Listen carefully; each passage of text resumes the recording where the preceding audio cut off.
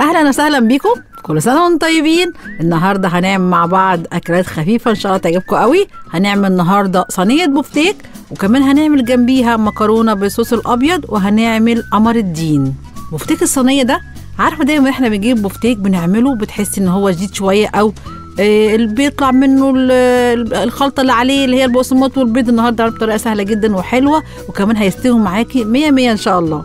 هنجيب بفتيك العادي جدا بنجيبه عند الجزار. وبعدين نجيب صينية نجيب صينية كبيرة كده من اللي عندك أو طاسة كبيرة وتحطي فيها معلقتين من السمنة مش زبدة عشان ما تتحرقش معانا.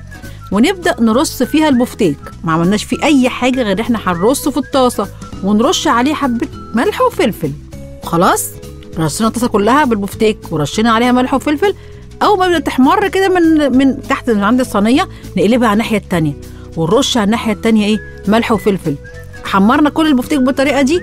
وطبعا انت بحب مثلا تضيفي كمية كمان هتشيلي البفتيكه فوق أختها وتحطي واحدة تانية في إيه؟ في الطاسة نفسها. لغاية ما تخلصي كل الكمية. خلصتي كل الكمية لاحظتي البفتيك لسه ما استواش شوية. ده أكيد مش هيستوي دي لحمة مش فراخ. هتبدأي تحطيها وتزودي المية شوية. ترصي الصينيه بقى رصة حلوة كلها فوق بعضها وتزودي المية شوية شوية لغاية ما تلاقي البفتيك استوى. البفتيك استوى خلاص. هتجيبي ثلاث فصوص من الثوم وتدقيهم مع حبة ملح صغننين أو تفرميهم وتروحي موسعة في البفتيك ومنزلة حبة الثوم دول.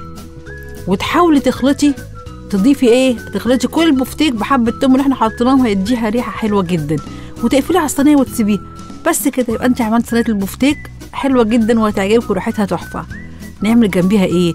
نعمل جنبيها مكرونة بالصوص الأبيض. إيه هو الصوص الأبيض؟ الصوص الأبيض ده البشاميل الخفيف. يعني هنسلق مكرونة وهنعمل بشاميل خفيف. ممكن تعملي البشاميل ده بكريمة لباني وممكن تعمليه بلبن عادي زي ما انت عايزة. هتحمري مثلا نص كيلو المكرونة هتجيب معلقتين من الدقيق وتحمريهم في معلقتين من السمنة وتضيفي لهم حوالي نص كيلو لبن. أو هتحطي علبة كريمة وحبة لبن. علبة الكريمة دي بتبقى حوالي نص كيلو أو أقل أو ربع كيلو من الكريمة اللباني وتحطي عليه كوباية لبن. بس كده ملح وفلفل. ده صوص الأبيض. حابة تكلفيه وتعمليه بكريمة لباني زي ما انت عايزة. حابة تعمليه باللبن برضو حلو جدا.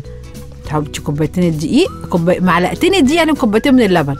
خلاص؟ بس كده. تسلقي المكرونة وبعدين طبعا الأكلة دي بتتعمل قبل المغرب على طول. يعني دوب قرب المغرب كده نص ساعة. حطي المكرونة تتسلق واعملي صوص الأبيض اللي هو البشاميل الخفيف من غير بيض.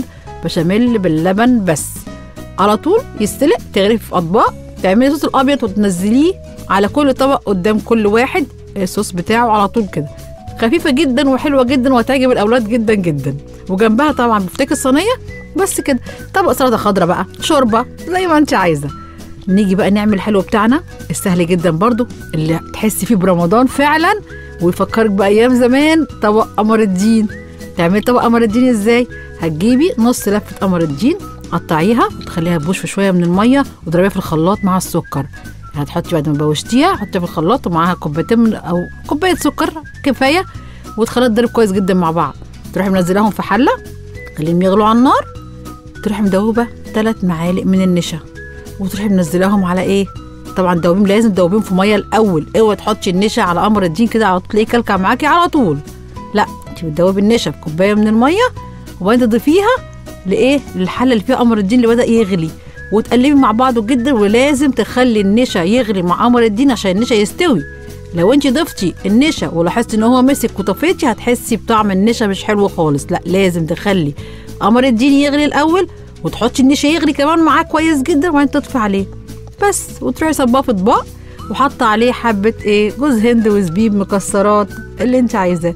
شفتوا اليوم خفيف إزاي النهارده؟ بكرة بقى إن شاء الله هنعمل مع بعض أكلات حلوة جدا. هقول لك عليها دلوقتي. هنعمل بكرة إن شاء الله صينية بطاطس بالكفتة وهنعمل رز رزه ورزة وكمان الحلو عندنا بكرة كنافة بالمانجا. استنيني بكرة مع بعض إن شاء الله. إلى اللقاء.